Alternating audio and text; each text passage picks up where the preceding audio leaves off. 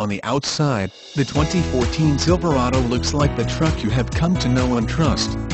In reality, it is all new from the ground up and more than ready to take on your toughest jobs to show what it can do.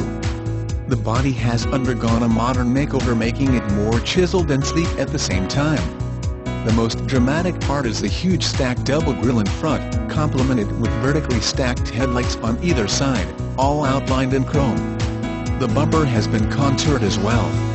Also, its tough persona is further accentuated by the geometric lines of its new sculpted fenders and dual-power dome hood. The Silverado currently comes in three models, Short Box Crew Cab, Standard Box Crew Cab, and Standard Box Double Cab.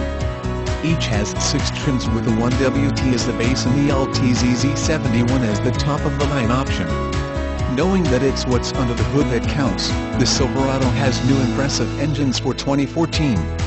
The 1WT, 2WT, LT, and Lieutenant Z71 comes standard with the 4.3L Ecotec 3V6, with 6-speed automatic transmission.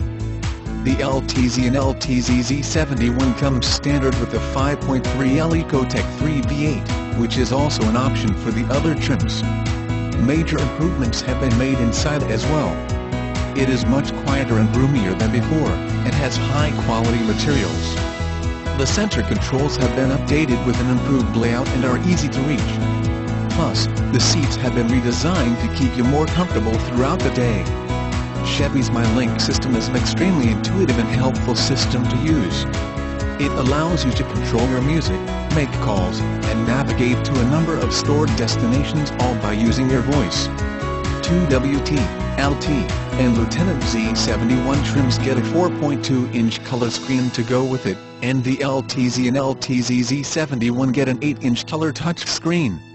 In terms of safety all models come with 4-wheel ABS disc brakes with Duralife rotors, StabiliTrak with electronic sway control and hill start assist. Plus on models LTZ and higher you can get the added visibility with a rear-view camera.